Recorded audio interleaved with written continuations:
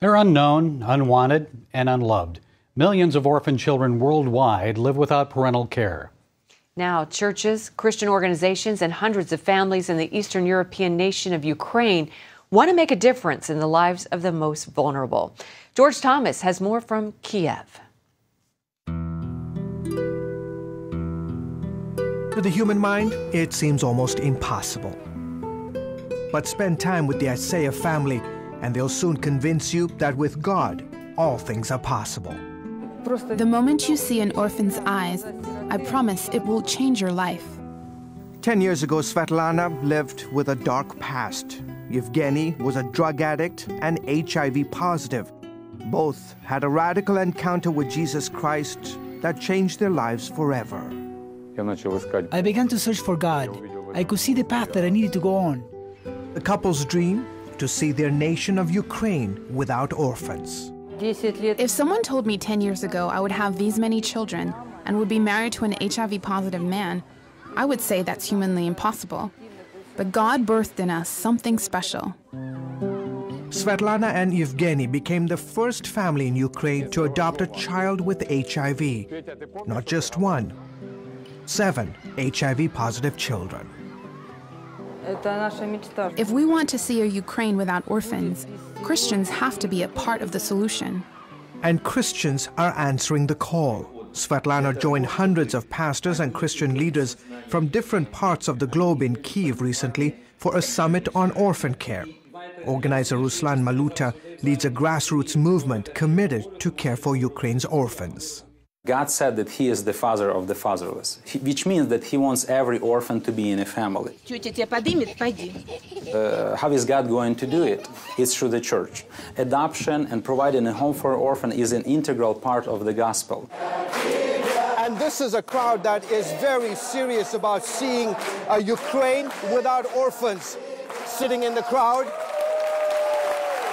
There are about 160 families that have either adopted a Ukrainian child or are today our foster parents. Gennady Mokhnenko is one of them. He's a pastor, and along with his wife, they have 31 foster children.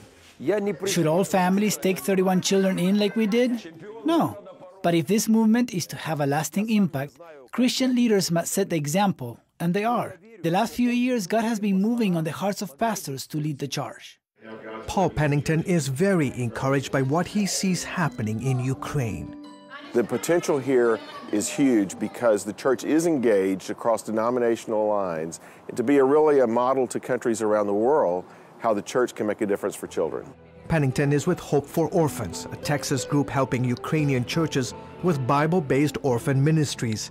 Pennington has six children, five of whom are adopted. The only way to reach 140 million orphans around the world is through the church because only the church is big enough, only the church has the power and the mandate to reach that many children in a sustained way. Pastors in Russia, Belarus, Romania, and Moldova have started similar Nation Without Orphans movements. What an honor to be in a Wess Stafford, president of Compassion International, says he's moved by the pastor's dedication to the vision. They do it with an understanding that God commits to bless orphans and those who do bless orphans. To see an audacious vision uh, that these guys actually are qualified to talk about because they're, they're doing it. Steve Weber calls the movement a miracle.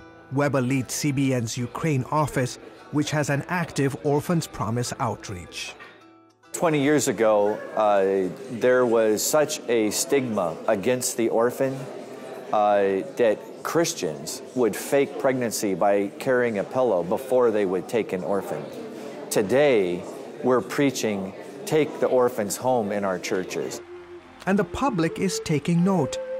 At a nationally televised event that drew Ukraine's rich and famous, Svetlana and Yevgeny received hero status and honored with the Pride of the Nation Award for their heart for orphans.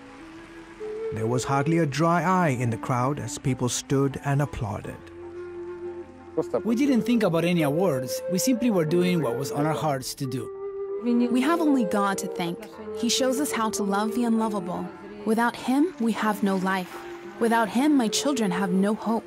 Without Him, The orphans of Ukraine have no hope. George Thomas, CBN News, Kiev, Ukraine.